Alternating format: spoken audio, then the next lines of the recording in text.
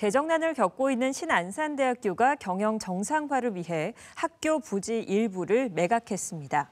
이에 따라 신안산대는 학교가 보유한 유휴 부지 두 곳을 각각 법무부와 안산시에 매각해 약 400억 원의 자금을 확보하게 됐습니다. 신안산대학교는 이 자금으로 미지급된 교직원들의 급여 지급과 부채 상환, 학생들의 교육 환경 개선에 투입할 계획이라고 밝혔습니다. 신안산대학교는 최근 수년간 신입생 모집 미달과 학생 수 감소로 경영난을 겪으면서 지난해 말부터 구조조정을 진행해 왔습니다. 다섯 개 학과가 폐지되고 교수 29명, 일반 교직원 26명이 명예 퇴직했습니다.